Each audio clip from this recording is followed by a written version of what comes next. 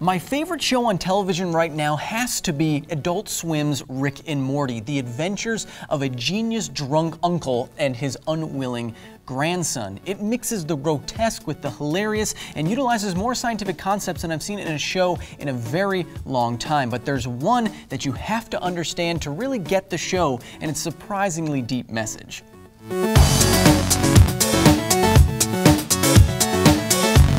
Though Rick and Morty can have adventures while never leaving home, the show really blossoms when Rick whips out his portal gun, able to take him not just to any place in the universe, but also to any one of the infinite timelines in the greater Rickstaverse.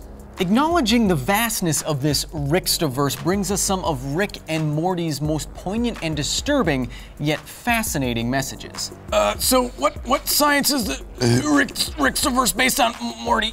At its most fundamental, we know that the universe is governed by the laws of quantum mechanics, or how particles and the very fabric of space itself interacts at the very smallest scales. But this fundamental math has huge implications for how the universe really works, and physicists today are still divided on which interpretation of quantum mechanics is truly correct. One of these interpretations, the many worlds interpretation of quantum mechanics, states that there's not just one universe but actually there might be an infinite set of branching universes. Formulated by physicist Hugh Everett in 1957, the many worlds interpretation of quantum mechanics tries to deal with the weirdness from observers and observed by interpreting the math to mean that every single thing in the universe is a quantum mechanical system, and that to accommodate all of the different possibilities of those systems, the universe splits off into an infinite number of other universes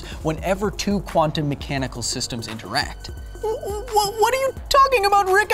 It doesn't make any sense. You've heard of Schrodinger's cat, right? The situation where some evil scientist has placed a poor little kitty inside of a box and saying that it could either be alive or dead until you open that box. This is alluding to the quantum mechanical concept of superposition, meaning that a particle, or in this case a cat, can be in one or two or many different states at exactly the same time and won't resolve to be one or another until it is observed. In this case, when you open the box and find a, a dead cat or not.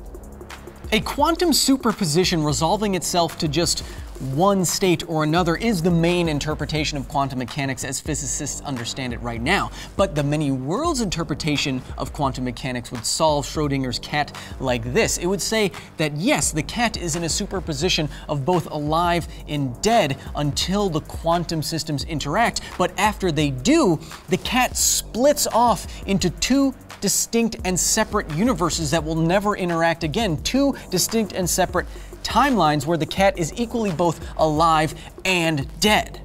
And here's why I think this theory is so appealing to people because it's so weird. If reality really is this way, then every single past and future event that could or can happen, as long as it's probable and it doesn't violate the laws of physics, did and will happen.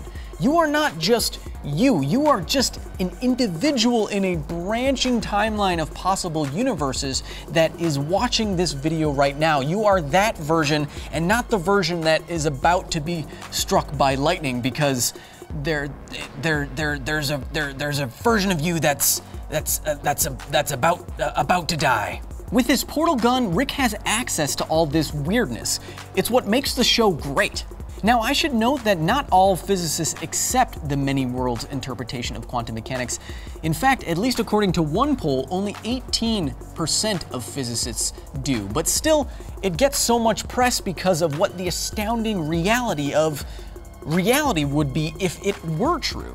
Even so, the many worlds interpretation is the scientific source of Rick and Morty's most important moments. For example, in Rick Potion number 9, Rick effectively destroys the world, so he simply finds an alternate timeline where he doesn't, and one where he and Morty both die around a specific time. They simply bury themselves and take their own place in a new reality, and nothing has changed. Nothing is different.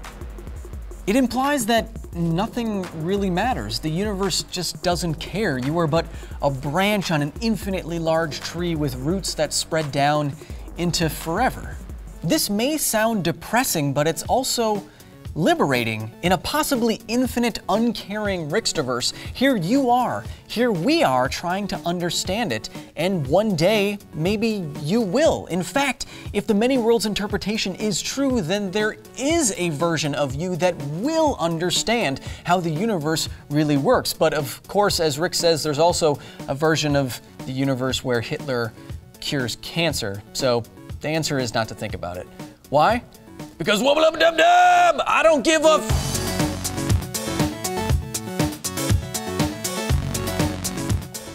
Want more science? Check out my last video on what's inside Joker toxins. Subscribe to Nerdist for more videos. If you want Because Science two days earlier than anyone else, head to Vessel at vessel.com slash nerdist. And as always, if you have any comments or questions, you can hit me up in the comment section below.